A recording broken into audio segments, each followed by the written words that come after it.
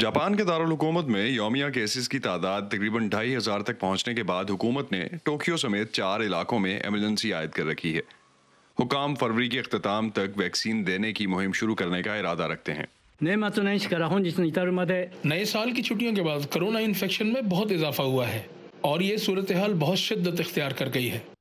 یونان میں دو ماہ کی بندش کے بعد ہزاروں پرائمری سکولز پھر سے کھول دیے گئے ہیں۔ یوں ساڑھے آٹھ لاکھ بچوں کی کلاس رومز میں واپسی ہو چکی۔ جبکہ پچاسی سال سے زائد عمر کے افراد کو ویکسین دینے کی تیاری بھی مکمل کر لی گئی ہے، مگر نومبر سے ملک لاک ڈاؤن میں ہے۔ کووڈ نائنٹین کے باعث چار ہزار سے زائد اموات پچھلے دو ماہ کے دوران ہوئی ہیں۔ جرمنی میں اس وائرس سے چالیس ہزار اموات کے بعد چانسلر اینجلا مرکل نے اگلے چند ہفتوں کو مشکل ترین قرار دیا ہے۔ صرف حالیہ دنوں میں سترہ ہزار نئے کیسز سامنے آئے ہیں۔ لبنان میں پچیس روزہ لاک ڈاؤن جاری ہے۔ وبا کی وجہ سے ملک کے معاشی اور مالی بحران میں اضافہ ہوا ہے اور ڈالر کے مقابلے میں مقامی کرنسی اسی فیصد تک گر چکی ہے۔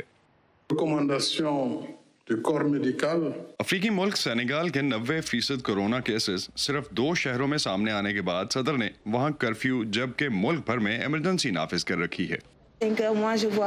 مجھے نو سے پانچ کرفیو کی منطق سمجھ نہیں آتی۔ لوگ صبح زیادہ گھومتے پھرتے ہیں۔ ٹرانسپورٹ اور فٹ پاتھوں پر ماسک پہنے بغیر ایک دوسرے سے رابطے میں آتے ہیں۔ اقدامات کا احترام نہیں کرتے۔ اس میں مزید سختی ہونی چاہیے۔